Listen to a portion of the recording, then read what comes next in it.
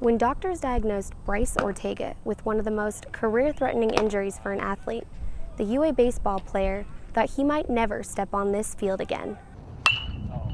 He walked on to one of the NCAA's top baseball programs, but he never imagined he would land a spot in the starting lineup. Noted for his agility in the middle infield, Bryce Ortega was a name well known by scouts around the country. A promising baseball career halted when doctors told him what he thought was a pulled back muscle was an injury serious enough to keep him off the field forever. The final diagnosis was that I had fractured my vertebrae, my L5 vertebrae, on both sides. So your back is pretty vital part of your body. I obviously came to the realization that maybe I was never going to play baseball again. After diagnosis, he was put in a brace that doctors told him might be his only chance for recovery.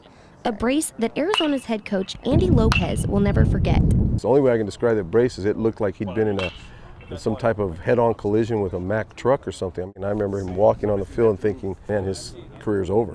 You know, he's there's no way this guy's ever going to play again. But Ortega had a different outcome in mind. After only nine months of rehab, he shocked his coaches and doctors. He returned to the U of A field in February for his first game since diagnosis.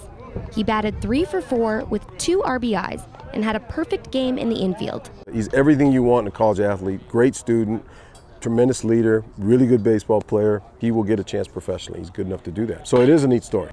A story that Ortega hopes doesn't end here. I'm just going to try to manage at least through this year and continue my rehab so nothing else bad happens and God willing, maybe I'll be able to play after this.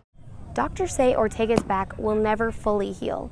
He is playing his last collegiate season with a broken vertebrae, giving a new meaning to what many call the field of dreams.